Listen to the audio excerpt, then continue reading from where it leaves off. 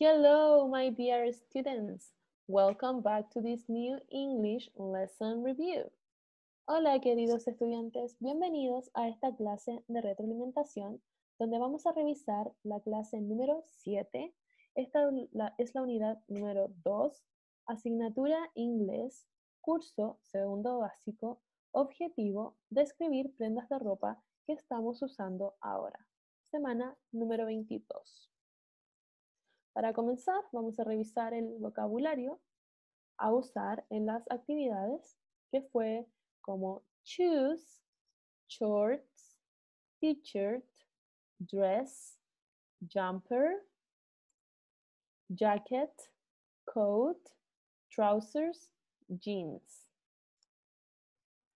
Además, recordar también que vimos esta preguntita de cierto de Are you wearing a estás usando un o una, ¿ya? Eso significaba, y por ejemplo acá tenemos, are you wearing a blue jacket? Y claramente podemos ver en la imagen que la niña no está usando una chaqueta azul, ¿cierto? Por lo tanto vamos a responder, no, I am not. I am wearing a green jacket and blue jeans. Entonces ahí teníamos la forma de, gramatical de responder lo que yo estoy usando en el momento, ¿cierto?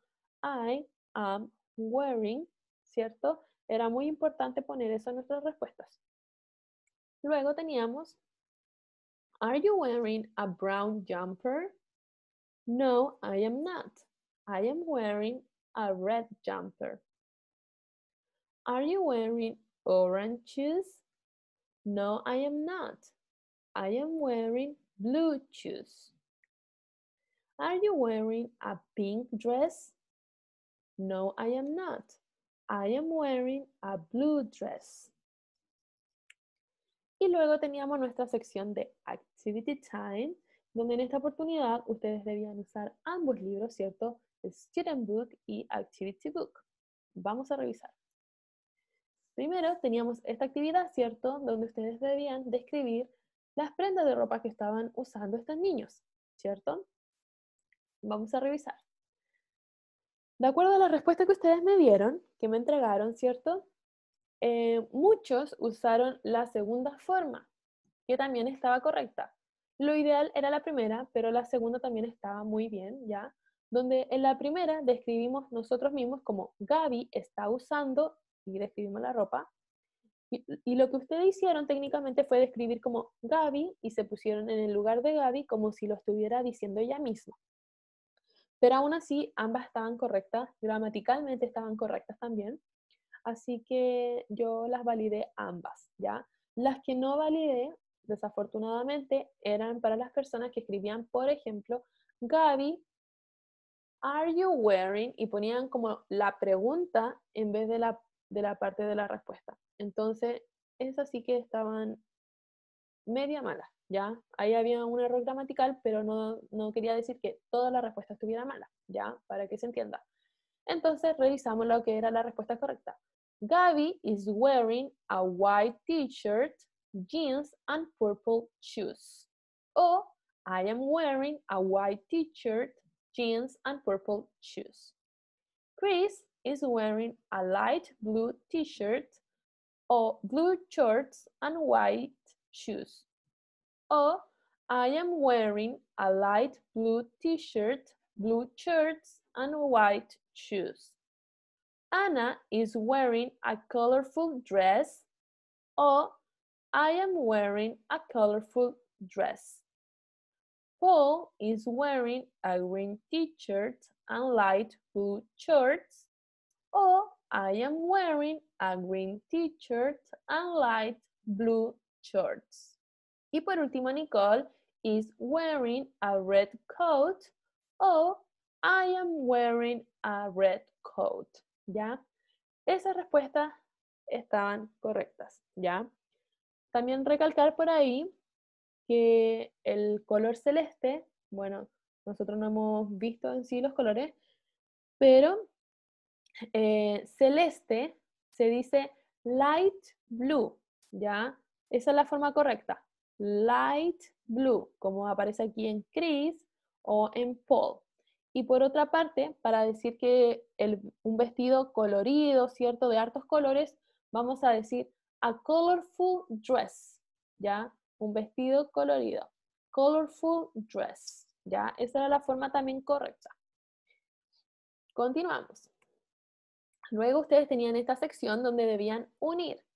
¿De qué forma lo teníamos que desarrollar, cierto? Lo primero era observar las imágenes, ¿cierto? De lo que estaban eh, usando los niños, ¿cierto? Qué ropa es la que llevaban puesta. Y luego debíamos leer las descripciones, ¿cierto? Para poder unir.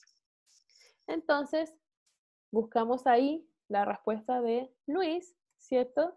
Y Luis dice, I am wearing jeans and a blue sweater, ¿cierto? Luego tenemos Emma, I am wearing a white and blue dress. Y por último, Victor, I am wearing a yellow t-shirt and blue shorts. ¿Ya? Además, y por último, teníamos esta actividad, ¿cierto? En su libro de actividades, donde era un poco más dinámica, que tenían estas pegatinas. Y aquí debían fijarse, ¿cierto? Leer estas nubecitas para ver lo que nos estaban solicitando estos niños. Y la niña nos dice, I need trousers and new shoes. Yo necesito pantalones y zapatos nuevos. Y por otro lado, el niño nos dice, I need a jacket and a hat. Yo necesito una chaqueta y un gorro. Entonces, la respuesta de esto era esta. De esta forma nos tenían que quedar los dibujos, ¿cierto? Estas fotografías. Acá teníamos el gorro, ¿cierto? A hat, jacket, trousers y shoes. Y ya llegamos al fin, ¿cierto? Tenemos acá este ticket de salida que dice, What are you wearing today? Ustedes tenían esta pregunta en la clase, pero la verdad es que nadie, muy poquito me la contestaron, como dos o tres personas. Así que ahora lo vamos a dejar como fijo, ticket de salida, me lo tienen que enviar sí o sí, ya. Yo voy a estar recibiendo esta semana esta información, pero lo que van a hacer es que ustedes me lo van a mandar en un audio de WhatsApp, ¿ya? No me van a mandar la foto de forma escrita, sino que lo quiero que me lo manden en audio, para que practiquen eh, el speaking, ¿ya? O eh, lo, practiquen de forma oral, ¿ya? Ese es nuestro ticket de salida de esta semana, chicos. Eh, y por último, ya haciendo síntesis en esta clase, ¿cierto? Vimos de nuevo, reforzamos lo que era nuestro vocabulario de esta unidad, ¿cierto? Como shirts, jacket, shoes, trousers, jeans, t-shirt, y además aprendimos en esta clase eh, cómo responder a lo que yo estoy usando, ¿cierto? I am wearing a red coat o I am wearing blue shoes, I am wearing a black t-shirt y así sucesivamente, ¿cierto? Espero que se encuentren muy bien y nos vemos en una siguiente oportunidad. See you next time, guys. Have fun. Bye bye.